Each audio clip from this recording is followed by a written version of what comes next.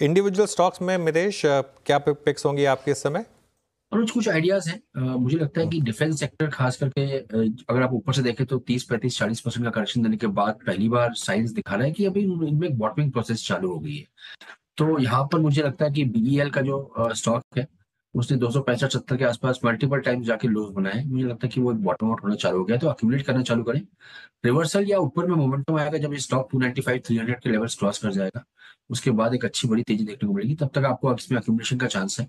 और इवेंचुअली मुझे लगता है कि स्टॉक तीन सौ तीस, पच्चीस तीस के रेंज के बीच में जा सकता है। तो यहाँ पर एक बॉटमिक सिग्नल्स है।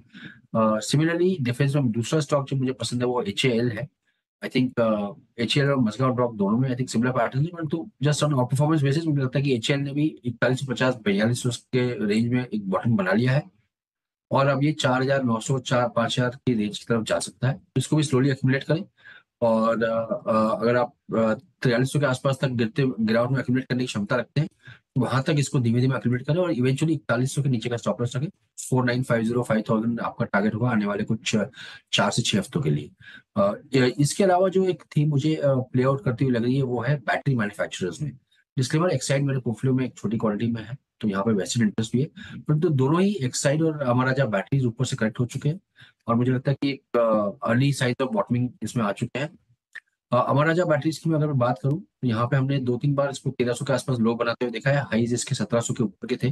तो अच्छा खासा करेक्शन हो चुका है टाइम वाइज करेक्शन भी हो चुका है। और चौदह सौ पच्चीस का मुझे मेरा मेरा इसमें ट्रेंड रिवर्सल का साइन है। अगर उसके ऊपर चलता है तो स्टॉक वापस एक नई तेज़ी चालू करेगा, जिसके मिनिमम टारगेट होंगे पंद्रह सौ सोलह और इवेंचुअली सत्रह सौ के हाइस को भी टॉप आउट कर सकता है। तो यहाँ पर भी काफ़ी अच्छा पैटर्न बन रहा है। और एक्साइड जैसा मैंने कहा कि मेरे पोर्टफोलियो में भी है थोड़ा सा वेस्टर्न इंटरेस्ट है एक्साइड में भी आई थिंक अच्छे बॉटम देखे आप उसके शॉर्ट टर्म एवरेजेस और इंडिकेटर सारे पॉजिटिव साइड पे हो गए। तो जिसके, पिछले हाई से पाँच सौ अस्सी के क्लोजिंग बेसिस पे। आई थिंक वो इस तरह को न सिर्फ़ टेस्ट करना चाहिए, बल्कि इस बार शायद नया हाई लगाने की क्षमता भी रखता है।